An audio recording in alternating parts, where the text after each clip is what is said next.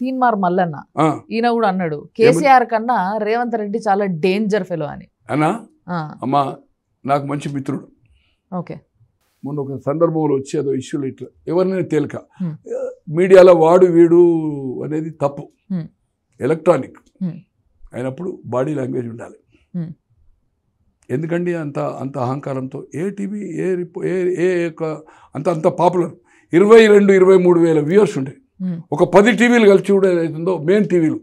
TV five NTV అన్నీ కూడా TV nine కూడా ఆయన ఉమ్, ఉమ్. ఎప్పుడైతే బీజేపీలో పోయింది ఎక్కడికి వచ్చింది ఏడు వేల ఎనిమిది వేలకు వచ్చింది. మళ్ళీ బీజేపీలోకి వెళ్ళి బయటకు వెళ్ళక ఇంప్రూవ్ అయింది పదకొండు పన్నెండు. ఈ రోజు పది రోజుల కిందనే. అది నాకు ఎవరో డౌన్లోడ్ చేసి పంపారు. నా దగ్గర ఉంది. చూశాను. నేను చూడలేదు టీవీ ఎవరు. ఎప్పుడైతే అక్కడ డిక్లేర్ అయిందో ఒక యాదవ్ జంగ యాదవ్ వజ్రా యాదవ్ డిక్లేర్ కాగానే కథం. రేవంత్ రెడ్డి రేవంత్ రెడ్డి అనేవాడు కేసీఆర్ నయమని చెప్పాడు. ఇవాళ ఏమైందమ్మా? ఇప్పుడు రేవంత్ అన్న రేవంత్ అన్న అంటుండు. అవును. Seven double seven two double zero. Recall recall. ఏమైందమ్మా? రికాల్? రికాల్ కాంగ్రెస్ సాధ్యమా? ఉం? ఈ రోజు ఎమ్మెల్సీకి నువ్వు ఏదైతుందో అది అయిపోయావు. మూడు సార్లు పోటీ చేశాడు. రెండు సార్లు ఎమ్మెల్సీ. మొన్న నేరమైంది. అంతకుముందు ఎమ్మెల్సీ ఏమేమి జరిగిందో తెలుసు? ఉప ఎన్నికల్లో. ఉత్తమ్ కుమార్ రెడ్డి గారి కాన్స్టిట్యూన్సీ చేశాడు. వెయ్యి ఓట్లు వచ్చాయి కదా. ఉమ్, వెయ్యి ఓట్లు వచ్చాయి కదా. ఈ రోజు నేను లేకపోతే కాంగ్రెస్ లేదు. నేనే రక్షించిన చచ్చిపోయిన కాంగ్రెస్ను ఈయనంటాడు ఒక ప్రేమ్ సాగర్ అని ఆదిలాబాద్లో. ఏడు వందల కోట్లు సుప్రీంకోర్టు జడ్జిమెంట్ వచ్చినా కూడా అన్ని క్లబ్లు బంద్ చేసి హైదరాబాద్లో. అన్ని క్లబ్లు ఓపెన్ చేసిండు నన్ను బంద్ చేసిండు. అరే నాయన క్లబ్ సొసైటీ యాక్టరా బాబు. అన్ని క్లబ్లు ఏది బంద్ కాలే. ప్రైవేట్ క్లబ్ ఎవరైతే ఓనర్ ఉంటాడో ఎలక్షన్ ఉండదో. ఇప్పుడు Nizam Club Jubilee Club Hmm. Film Nagar Club Hmm. Fateh Maidan Secunderabad Club జీరా ఇవన్నీ సొసైటీ. దీంట్లో ప్రతి స్పూన్కు రైట్ ఉంటుంది. ఇంతకుముందు commercial tax sale tax income tax కట్టేవాళ్ళు. ఇప్పుడు జిఎస్టీ అంటారు. ఎవ్రీ టూ ఇయర్స్కి ఎన్నిక అవుతుంది ఎవ్రీ స్పూన్ మీద రైట్ ఉంటుంది. ఉమ్, ఈ రోజు చినార్ ఫోర్ట్ కానీ కంటి క్లబ్ కానీ సెలబ్రిటీ కానీ ఓనర్ ఆ బిల్డింగ్లు వాళ్ళదే వాడి జీవితాంతం వాడే ప్రజెంట్. పొద్దున బ్రేక్ఫాస్ట్ మధ్యాహ్నం లంచ్ Hmm. సాయంత్రము డ్యాన్సులు విందు పొందు అన్నీ ఉంటాయి అక్కడ. ఓకే. చిరాన్ ఫోర్ట్లో. ఏడు వందల కోట్లు వస్తపోయినట్టాడు Hmm. ఏడు వందల కోట్లు పదేళ్ళు నడిపినావు కదా నువ్వు క్లబ్ కాంగ్రెస్ పీరియడ్లో? ఎంత? ఏడు వందలు అంటే? ఇప్పుడు ఐదేళ్ళు పోతే నువ్వు ఏడు వందలు అంటే పద్నాలుగు పద్నాలుగు వందలు. ఎంత ట్యాక్స్ కట్టినవా నువ్వు? క్లబ్ అంటే నీకు తెలుసా? ఇటువంటి దౌర్భాగ్యం. ఆయన పది గెలిపిస్తా అంటాడు. ఆయన నేను లేకపోతే కాంగ్రెస్ లేదు.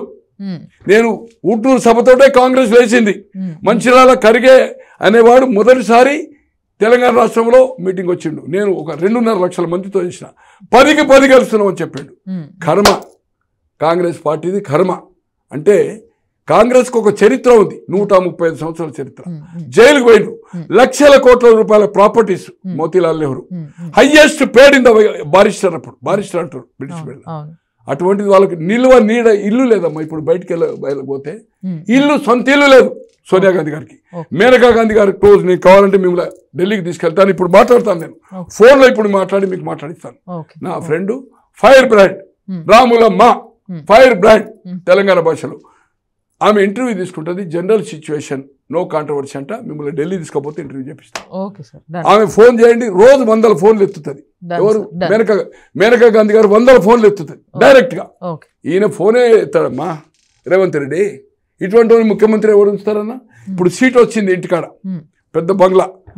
సింహాసనం ఇంత ఉన్నది. ఆయన ఇట్లా కూర్చుంటే అది ఊరభిష్కలు ఎక్కువ ఉంది ఆ సీటు మీద. ఏ రాజులు చనిపోతే వాళ్ళ వాళ్ళ మనమని కూర్చొని పెడతా చూడండి కిరీటం పెట్టి అట్లుంది కర్మ కర్మ ఈ కాంగ్రెస్ పార్టీది. తీన్మార్ మల్లన్న రేవంత్ రెడ్డి కంటే కేసీఆర్ ఏమని చెప్పిండు. అటువంటిది ఏ మొక్కం పెట్టుకొని ఇవాళ ఏదైతుందో నువ్వు కాంగ్రెస్ నీ కేసీఆర్ మీద కోపం ఉంది. జైలుకు పంపిండు. ఆయన జైలుకు పంపిండు. బట్ అంశాల వారిగా ఉండాల? నేను ఓడిస్తా. దూషణ పర్వం చేసి. కాంగ్రెస్ పార్టీ నాశనం కావాలను. నీ టికెట్ అనౌన్స్ కాకపోతే. మెడిచల్ కాకపోతే. అటువంటిది Hmm. ఈ రోజు ఇంకో కొందరు మీడియా నడిపి అది మళ్ళీ ఒక మీడియా పెట్టి కోట్లతోటి ఇవాళ చెక్క భజన చేస్తున్నారు. చెక్క భజన. మీడియా కింగ్ ఈరోజు ఓ ఓ టీవీకి పోయిండు. ఉమ్, ఎందుకు వచ్చిన అంటే టీవీ ఒక కెమెరా పట్టుకొని. నా లెక్కలు చూసుకుంటానికి వచ్చిన. లెక్కలు ఏడు పర్సెంట్కి లెక్కలు ఏం చూసుకుంటావా నువ్వు? Hmm. యాభై ఒకటి ఉన్నదంటే ఫినిష్ అమ్మా.